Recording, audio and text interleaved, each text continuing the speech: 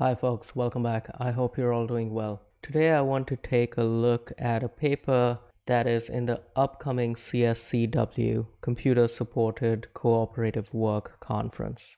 And the focus of this paper is trying to understand how both creators as well as learners approach the task of learning programming by using live streams, video live streams, and contrasting that with the same thing but done with pre recorded videos.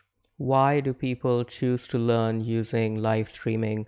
Why do creators choose to teach using live streaming? And what are the challenges that both creators as well as viewers face when using live streaming? These are the questions that this paper tries to answer. The way the authors try to do that is by performing in depth interviews. They found 14 streamers and 12 viewers and had about hour long interviews with all of them and then try to get some insights out of those answers. And this table has a little bit more information about the study participants. You see that they have 14 streamers and 12 viewers, and their occupations range from professional programmers, which is indicated by a P over here, or hobbyist programmers, or students. Their ages range from 18 to 40. They're spread across both YouTube as well as Twitch in terms of platforms, and they have a wide variety of programming experience,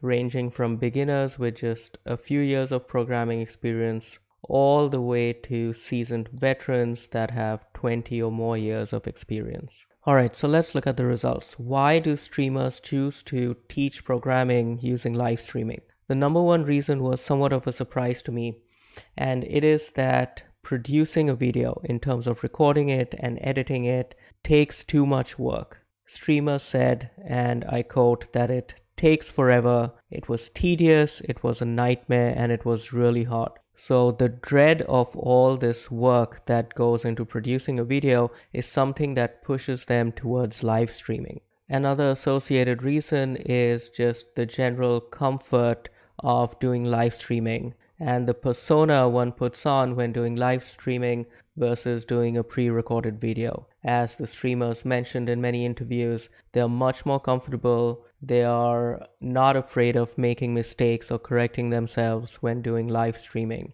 I love this quote over here. One of the streamers said that when they were recording a video, they would shift to a flight attendant persona where they try to get everything polished and correct in their voiceover. On the other hand, when you're live streaming, things are much more casual and spontaneous, and this overall expectation reduces the nervousness of live streamers. The other big reasons that streamers like doing live streaming is the connection they build with their community. When live streaming, you have all these opportunities for live real time interactions with your viewers viewers chatting back at you, pointing out things in your content as you are live streaming, or asking questions or giving you compliments and so on.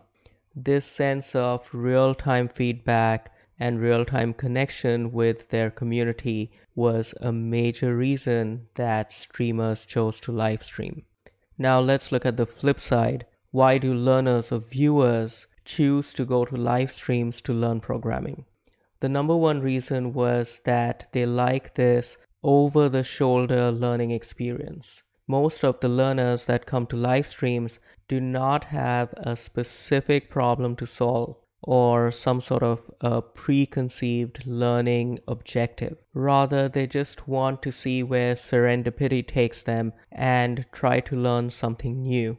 On the other hand, when they go searching for pre recorded videos and watch pre recorded videos, they have a very specific knowledge objective or learning objective in mind. Viewers mentioned that what really attracted them to live streaming was this behind the scenes look at the thought process of the teacher.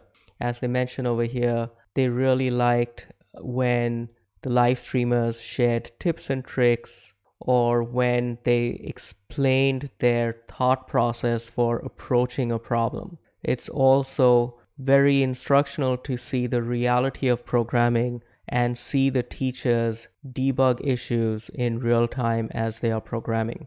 And just as real time interaction was a big draw for streamers, it's also a big part of why learners come to live streams because of the sense of community. So that was a rundown of the reasons why both streamers as well as viewers are attracted to live streaming. The next part of this paper focuses on what challenges they face. Looking at challenges that streamers face, the number one challenge was preventing privacy leaks. And this mostly has to do with accidentally exposing private information while you are live streaming things like flashing email addresses or passwords or API keys on the screen.